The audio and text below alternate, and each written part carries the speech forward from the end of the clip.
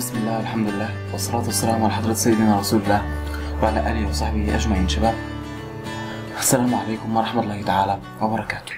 إيه راح نحكي إن شاء الله بإذن الله في ال writing settings وفيها يعني مجموعة من الحاجات الخاصة ب writing أولهم بيكون ال default post category وده معناه إني أنا لما باجي أكتب موضوع أو أعمل post من غير ما أحدد ليه category فهو افتراضا بيتحط في أنه category أنت ممكن تختار ما بين ال categories اللي عندك علشان يكون ال post اللي أنت هتعمله بشكل افتراضي ضمن ال category دي. النقطة التانية default post format التنسيق الافتراضي لل post ودي نقطة سبق إن إحنا حكينا فيها في موضوع ال post مش فاكر في أنه جزء بالظبط لما حددنا في إني حاجة اسمها status و chat وفيديو audio الكلام ده. طيب لو لو حضرتك مش يعني لو حضرتك عايز في الحالات ال default يعني من غير ما تحدد يكون هو واقف على إيه؟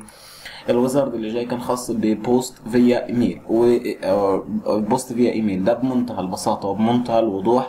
ال wizard ده feature جميلة جدا بيقدمها WordPress بإنك مش شرط إنك تحاول تكتب ال content جوه WordPress as content management system لأ ممكن تبعت mail ها يعني جهاز ال content بتاعك وتنسخه ك plain text وتبعت mail ل- آم، رسالة معينة ل mail server وبمجرد ما إنك تبعتها ال WordPress هيحاول ياخد عناء المسؤولية دي. يعني بمجرد ما انها توصل لل mail ده ال mail ده هيتنشر كأنه هو post.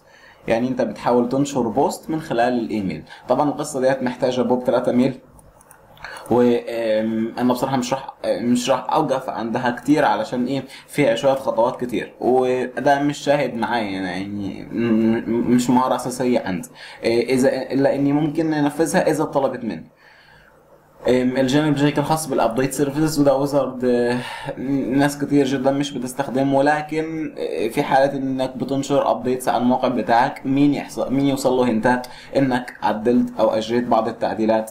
ده الفكرة في موضوع writing settings سبحانك اللهم ربنا وبحمدك. لا إله إلا أنت. نستغفرك ونتوب إليك. السلام عليكم ورحمة الله تعالى وبركاته.